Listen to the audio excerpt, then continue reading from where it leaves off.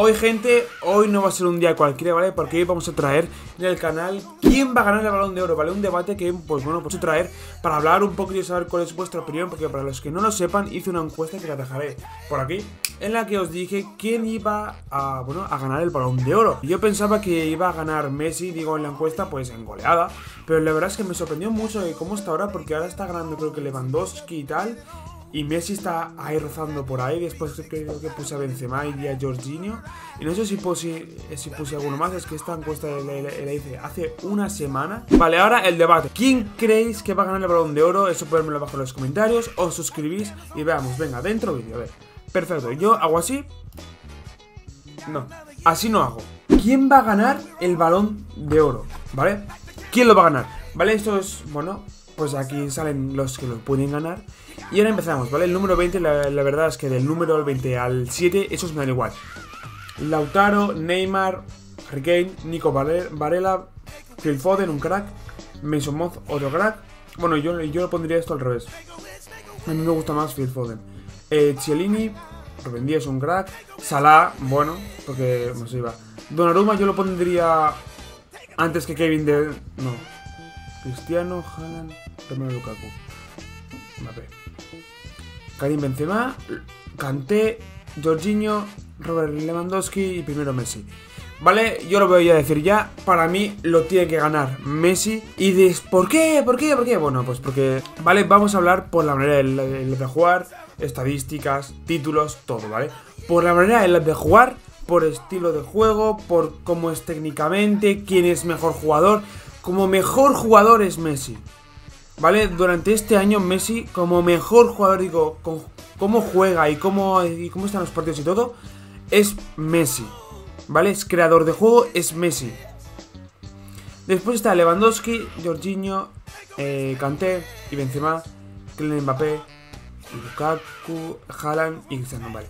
Mirad, yo aquí pondría a sexto, a sexto, mirad, Lukaku yo lo pondría el noveno o el, octavo ya Cristiano yo lo pondría... Claro, sí que hay un debate, ¿vale? También en estadísticas hay que mirar en la liga en la que juega, ¿vale? Porque también que, a ver, la alemana y la francesa es un poco menos que la española o la Premier League, por ejemplo. Para mí son un escalón menos. Porque hay rivales que, por ejemplo, no tienen nivel casi. A ver, las cosas hay como son. ¿Ves? Por ejemplo, Cristiano 39 goles y 4 asistencias. Yo lo pondría por delante de... Bueno, de 43 goles y 13 asistencias. Bueno, en este caso yo lo pondría igual porque... Están igual porque Han ha hecho más. Pero pondría a Cristiano por encima porque ha hecho dos títulos. Así es como yo lo miraría. Entonces yo Cristiano al menos lo pondría octavo. Y Lukaku 30 goles y 8 asistencias. Ah, ganó la serie bueno, ahí ya es otro debate. Aunque, claro, 30 goles y 8 asistencias. Yo pondría Cristiano el séptimo, Lukaku y Haaland octavo y noveno. Después, Kylian Mbappé, yo lo pondría el, cuarto. Y quinto o sexto a Benzema. ¿Y por qué? Podemos decir, mira, eh, primero, Canté. Canté por títulos. Claro, por títulos yo lo pondría todo a ver, está, está muy bien, pero yo, yo lo pondría el sexto. Porque estuvo media temporada lesionado y al final se le ha dado mucho bombo pues por el meme. Y a Benzema yo lo pondría creo que el quinto o sexto, porque mirad, vale, vale, aquí pasa como antes, en Benzema y, y Mbappé, por goles y todo eso, están igual. ¿Por qué? Eh, Mbappé ha hecho más goles, pero es la liga francesa y como ha hecho menos goles y más asistencias Benzema, pues yo por eso al final los pondría igual porque el Benzema lo ha hecho en una liga más difícil. Ahora, eh, en títulos gana Benzema. Por lo tanto, yo lo pondría por delante a, Mbappé. Después, Jorginho. Es claro, aquí. O Mbappé lo pondría tercero y a Benzema lo pondría cuarto o quinto y a Jorginho el quinto. Es que, claro, Jorginho también. En estadísticas no lo he visto mucho, pero tampoco es nada del otro mundo, ¿vale? Porque mirad, ha ganado la Eurocopa, Champions y Supercopa de, Europa. Está muy, muy bien. Está muy, muy bien. Por eso, a lo mejor en top 3, bueno. No, es que yo a, top 3 yo no, yo, no lo metería, Jorginho, ¿eh? Yo lo metería a top 4 y metería a Mbappé como top 3. Mbappé o Benzema. No, Benzema. Bueno, Mbappé o. Sí, Mbappé o Benzema. El top 2 está claro que es Lewandowski y aquí ahora es la comparación porque es donde más seguro va, va a estar.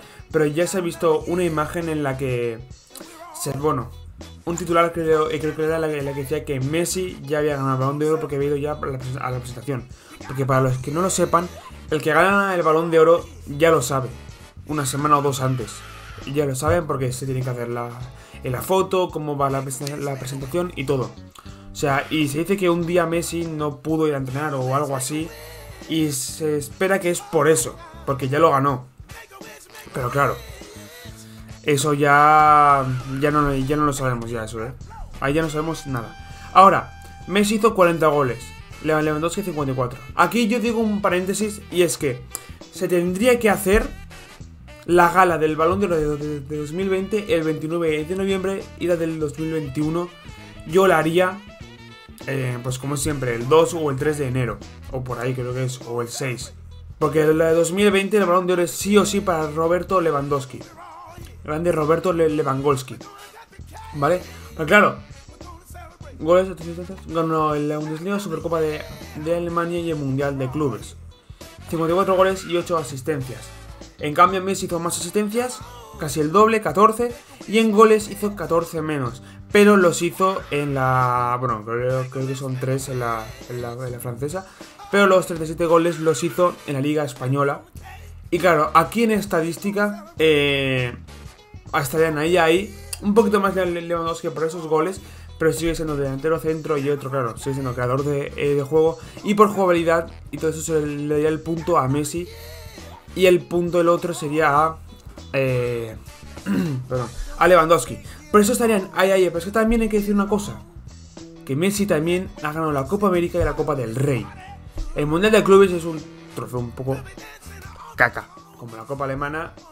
Ah, no, pero como la Supercopa Alemana o la Copa del Rey son trofeos un poco así más menores. Ganó la Bundesliga, pero es que también Messi ganó la Copa América.